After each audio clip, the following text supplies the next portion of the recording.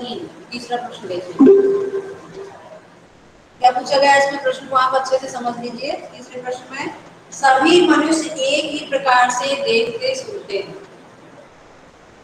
पर एक समान विचार नहीं रखते। अपनी अपनी सभी अपनी अपनी मनोवृत्तियों के अनुसार कार्य करते हैं। पाठ में आई कबीर की किस साखी से पंक्तियों के भाव मिलते हैं। एक समान होने के लिए आवश्यक क्या है? लिखिए। इस प्रश्न में पूछा गया है कि एक समान होने के लिए क्या ज़रूरी है? और कभी की किस साखी से जो है इन पंक्तियों के भाव मिलते जुलते हैं? कौन सी साखी में है इस प्रकार के भाव? बताइए बच्चों बच्चे क्लास में।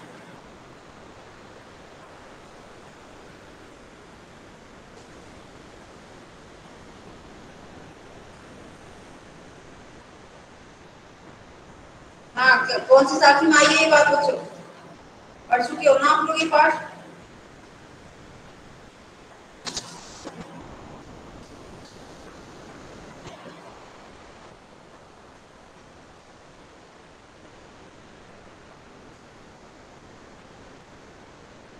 कौन सी साखी में? नंबर चार पर देखिए, चौथी साखी में आई है ये बात। कबीर घास ना नींद दिए जो पाँव कभी होए उड़ी पड़े जब आँख में खड़ी हुई नहीं हो। जो चौथी नंबर की जो साखी है, इसमें आई है ये बात।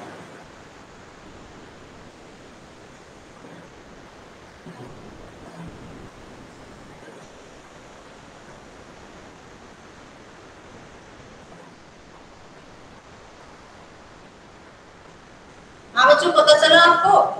कौन सी साखी में आई है ये बात? जो कबीरदास जी कहना चाहते हैं हाँ कबीर की किस साखी में पंक्तियों के भाव मिलते हैं एक तो कौन सी? चौथे नंबर की जो साखी है इसमें आई है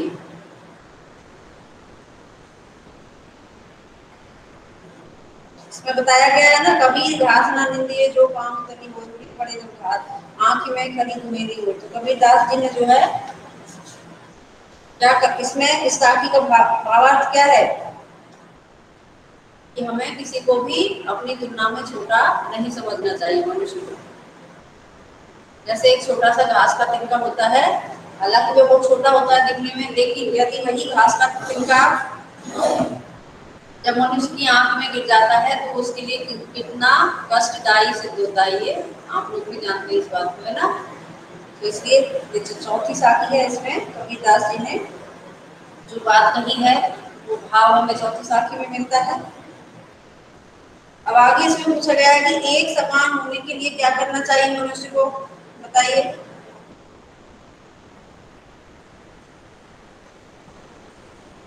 क्या करना चाहिए?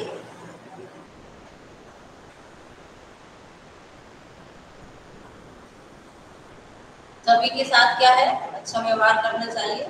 सभी मनुष्य जब एक ईश्वर ने सभी को बनाया है तो सभी मनुष्य जब एक ही मनुष्य को एक तो जब एक ही ईश्वर ने सभी मनुष्यों को बनाया है, प्रकृति जब क्या है, मनुष्यों में भेदभाव नहीं करती, जैसे सूरज की रोशनी सभी के सभी के लिए बराबर है है ना? चंद्रमा का प्रकाश सभी के लिए, वायु सभी मनुष्यों के लिए है। उसी प्रकार के है, मनुष्य को हमें भी आपस में भेदभाव नहीं करना चाहिए। ठीक है, आगे देखिए चौथा प्रश्न प्रश्न नंबर चार। कबीर के दोहों को साखी क्यों कहा जाता है ज्ञात कीजिए कबीर दास जी के दोहों को साखी कहा जाता है तो साखी गिरने का कारण क्या है? ये बताइए।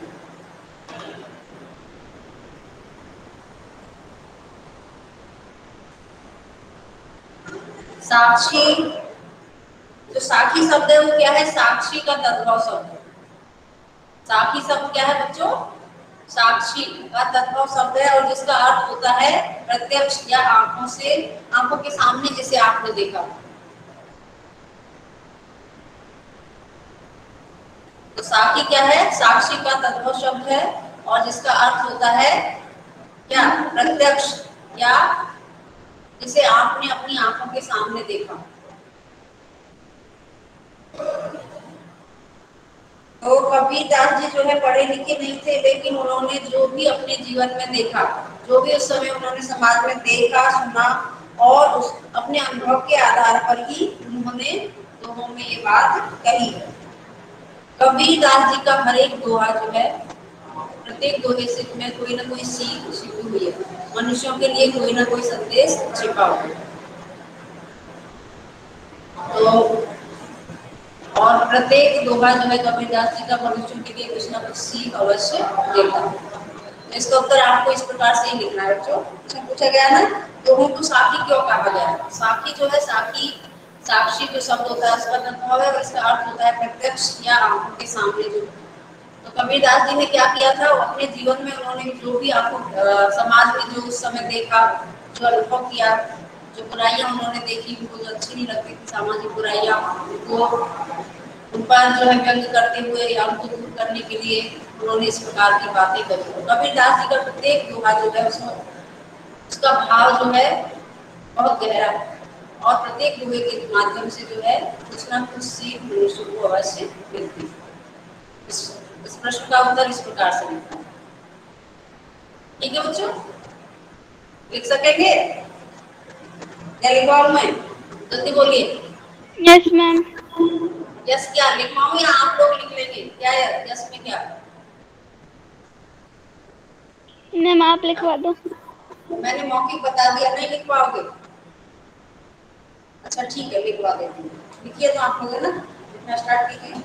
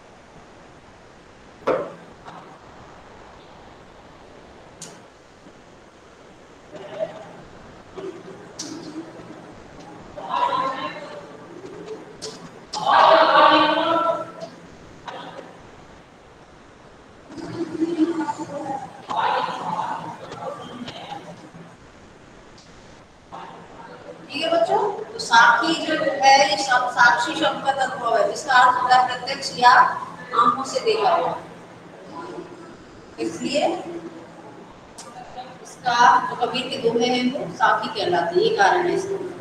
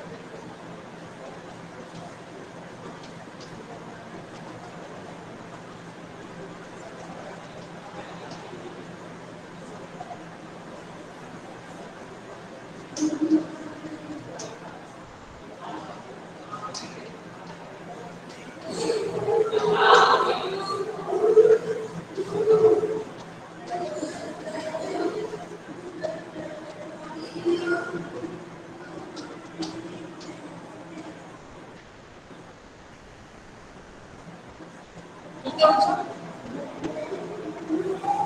है उत्तर आप जल्दी से लिख लीजिए उसके बाद आगे।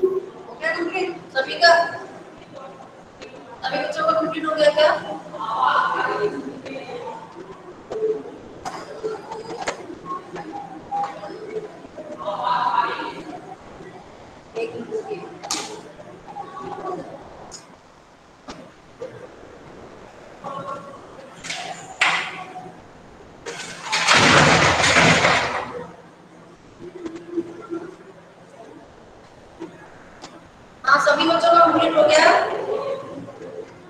जवाब दीजिए बच्चों जल्दी। हम लोग एट्थ वाले बच्चों यस ठीक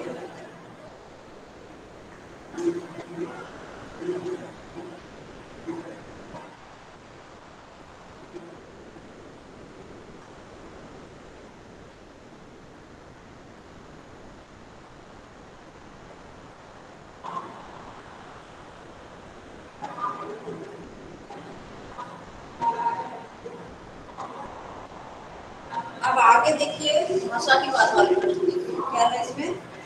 बोलचाल की क्षेत्रीय विशेषताओं के कारण शब्दों के उच्चारण में परिवर्तन होता है। जैसे वाणी शब्द पानी बन जाता है, मन से मनवा मनुआ आदि हो जाता है। उच्चारण के परिवर्तन से वर्तनी भी बदल जाती है।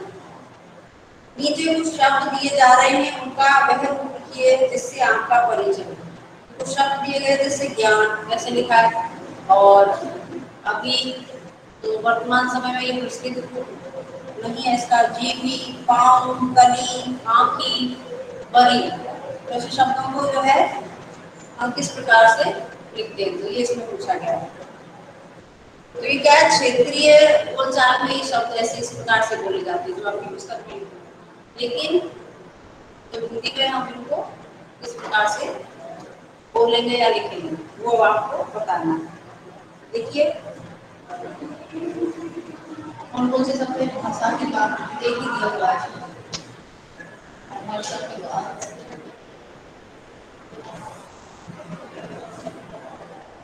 सब नंबर एक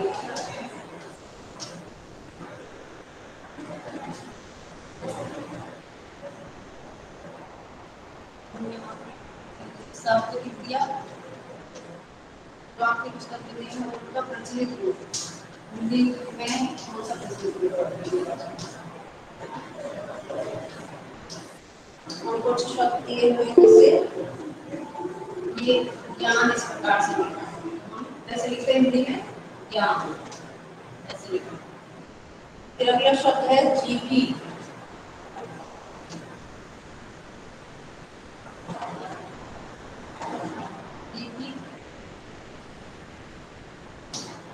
जी ठीक अगला पाँव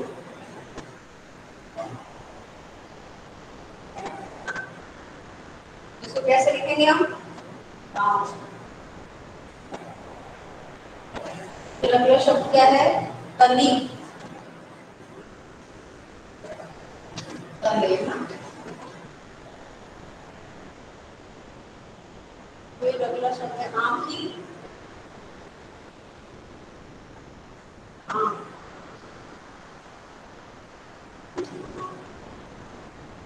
एक शब्द है बरी बरी क्या वेरी वेरी ना का अर्थ शत्रु होता है ठीक है बच्चों तो इस प्रकार से हम लिखेंगे जल्दी से लिख दीजिए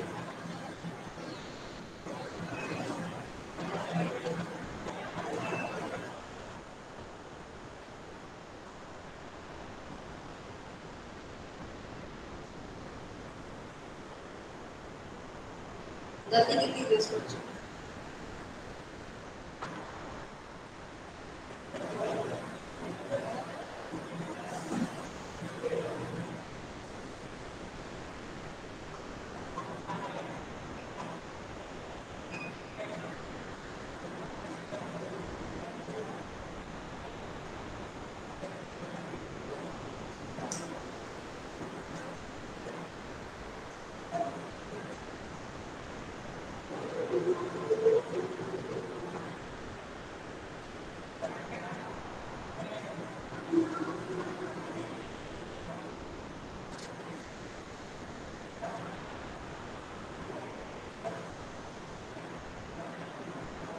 हाँ कंप्लीट हो गया बच्चों लिख लिया हम लोगों ने यस मैम और बाकी बच्चे? यस मैम सभी का कंप्लीट हो गया ना? यस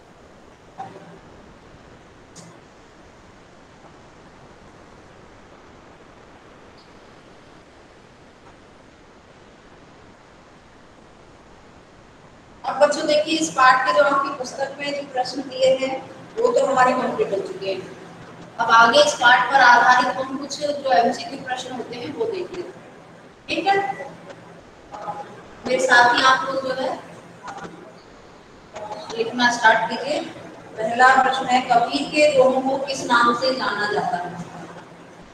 ये लिखने हैं आपको अपनी नोटबुक में, ताकि आप बाद में रिविजन भी कर सकें। लिख लीजिए सभी को, मेरे साथ लिखना। मेरे साथ ही आप लोग लिखना स्टार्ट कर दिया था पहला प्रश्न है।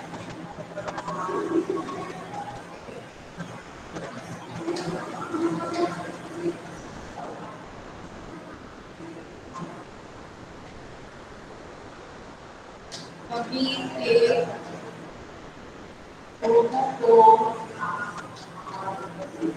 किस नाम से जाना जाता है? किस नाम से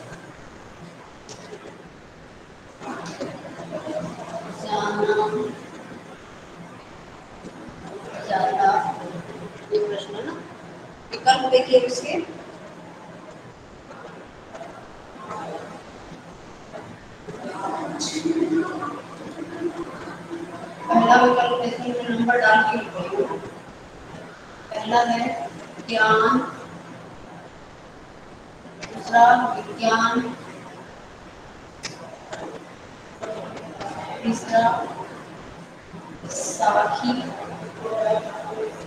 चौथा विकल्प है। सभी। क्या होगा इसका सही उत्तर हाँ बच्चों कौन सा होगा इसका सही उत्तर इस प्रश्न का? कौन सा विकल्प होगा? जवाब दीजिए। अभी तो पढ़ाए अभी पाँच मिनट पहले तो किया ही उत्तर आप लोगों ने। मैम साखी हाँ साकी साकी। साकी होगा सही।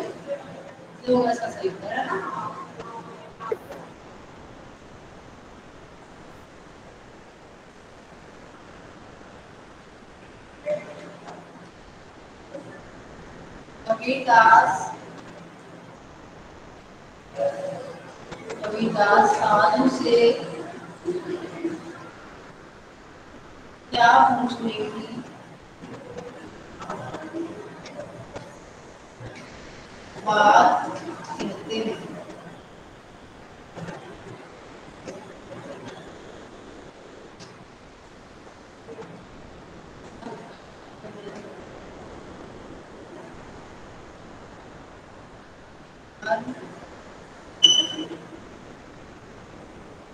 दूसरा जाति तीसरा ज्ञान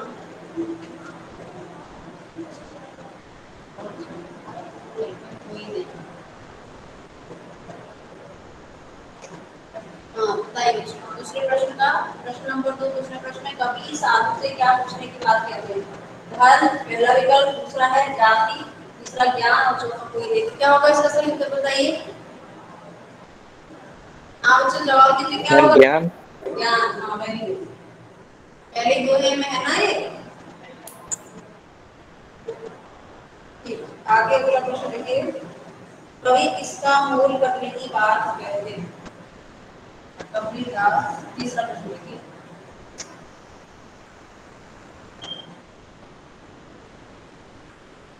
दास जी कबीर दास इसका मूल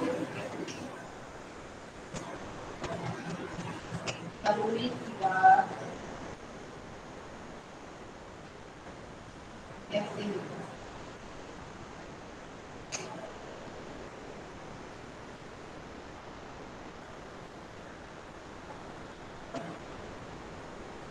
पहला विकल्प है अथवा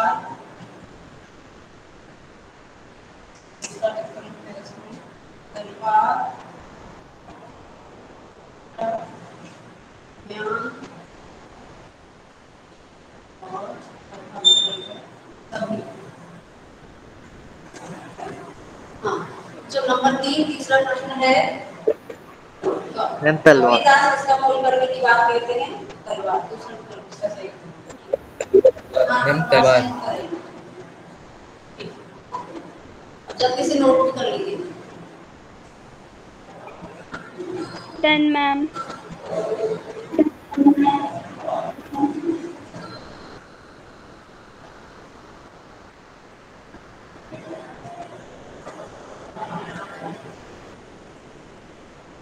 हाँ सभी बच्चों को कंप्लीट हो गया क्या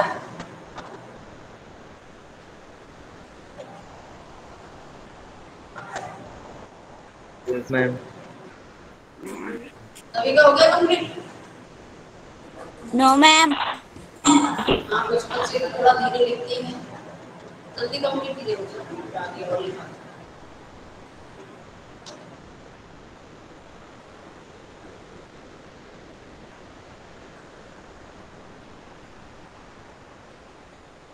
यस मैम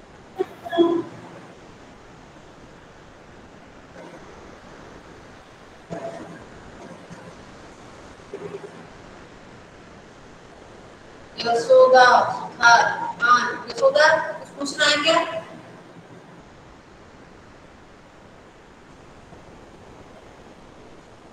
हाँ यशोदा सुधार बेटा पूछना है कंप्लीट हो गया बच्चों आगे लिखिए फिर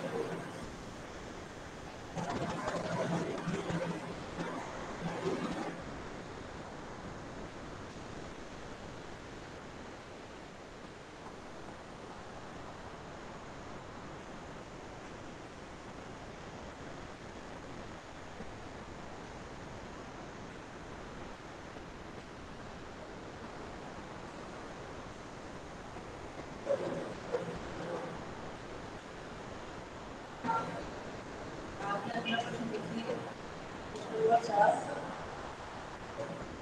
कबीर की रचनाओं का संकलन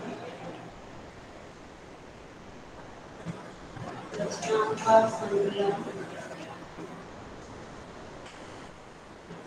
किस नाम से जाना जाता है संकलन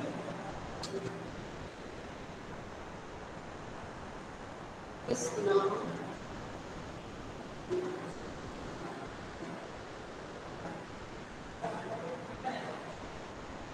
से जाना जाता है विकल्प देखिए पहला विकल्प इसमें बीजक दूसरा विकल्प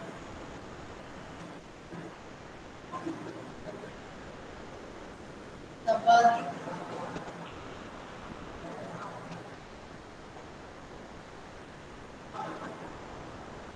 तीसरा काफ़ी और चौथा है ब्रह्मांड बच्चों नंबर तीन की में तीन में चार है नंबर चौथा प्रश्न है। कवि की रचनाओं का संकलन किस नाम से जाना जाता है? विकल्प पहला है बीजक दूसरा सबद तीसरा साक्षी और चौथा रमत क्या होगा इसका सही उत्तर बताइए? साखी।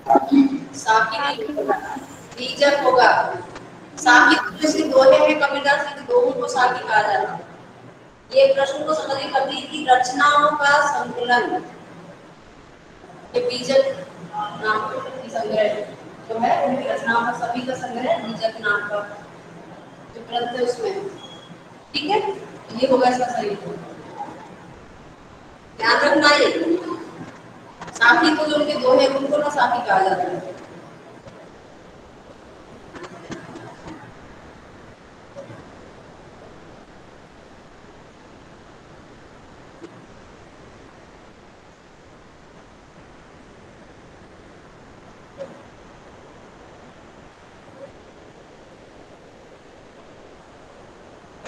आगे अगला प्रश्न लिखिए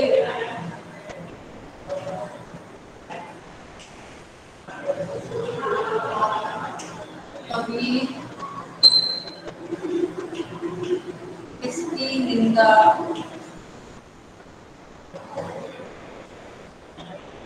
न करने की सीख देती है। कभी किसकी निंदा न करने की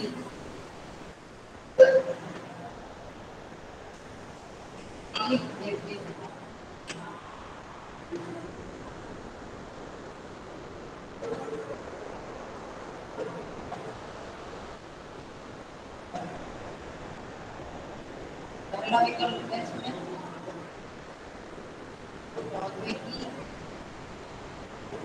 विकल्प इसका।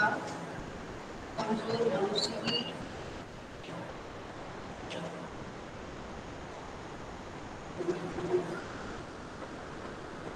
तीसरा है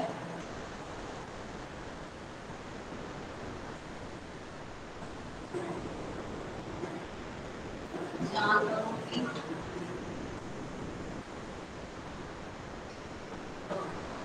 में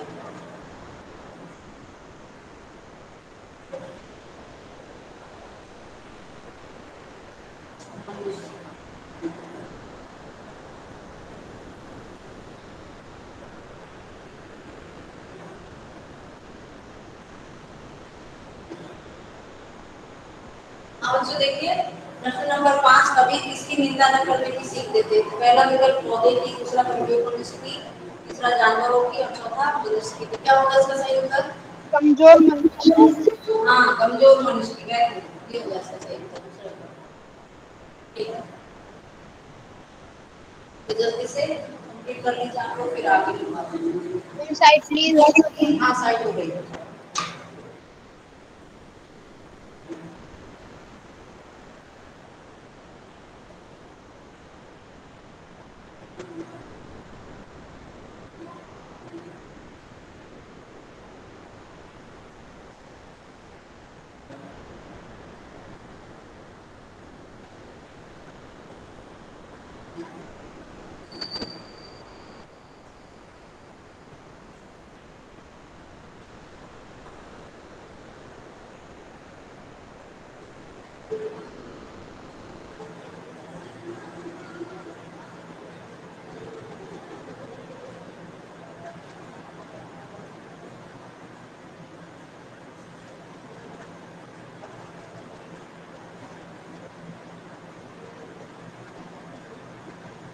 कंप्लीट हो गया बच्चों?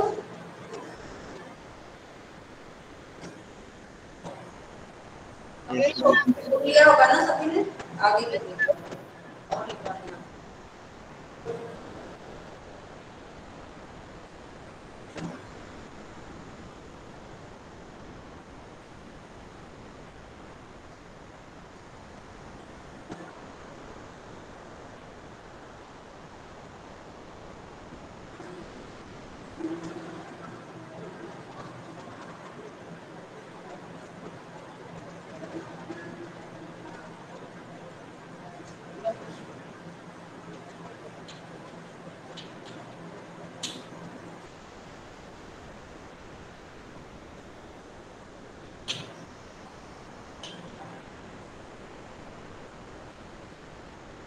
आपा को डाली दे का अर्थ क्या है। पहला विकल्प देखिए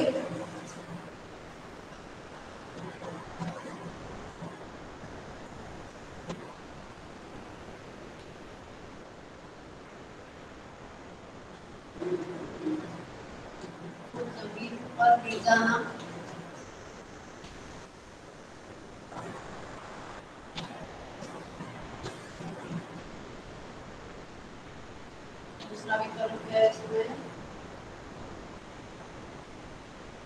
अपना सामान छोड़ना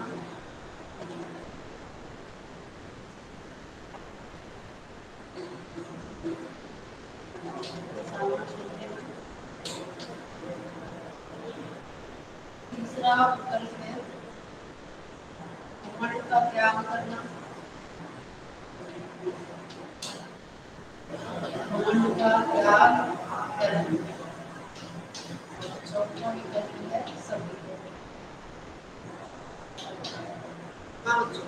प्रश्न नंबर को डाली दे का क्या का अर्थ क्या है पहला विकल्प ज़मीन पर गिर जाना दूसरा अपना सामान छोड़ देना दूसरा घमंड का त्याग करना चौथा सब क्या होगा इसको बताइए हम घमंड का त्याग करना है वेरी गुड क्या आपा अर्थ क्या है? घमंड? है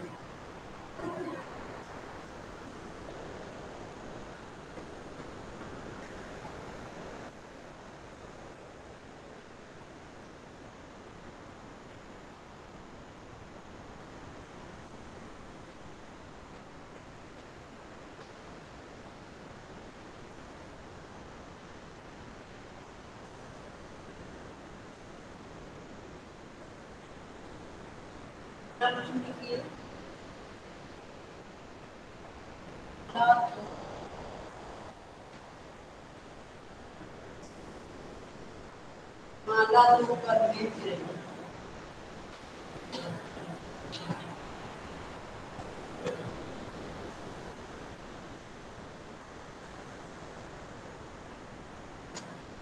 इस पंक्ति में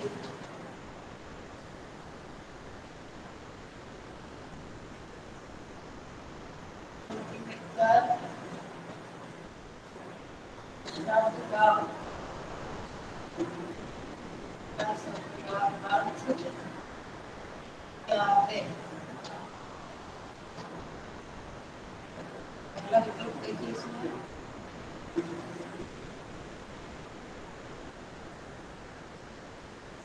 पैर विकल्प बाल विकल्प हाथ और चौथा विकल्प है थोड़ी नहीं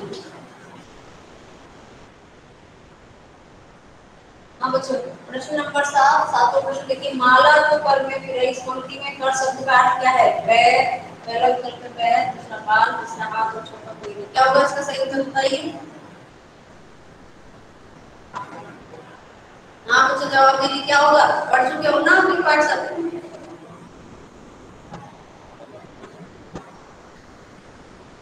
क्या होगा इसका उत्तर?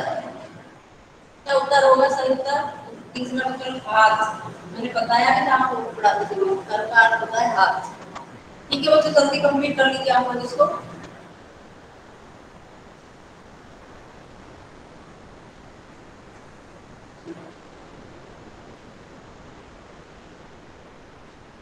Then side please.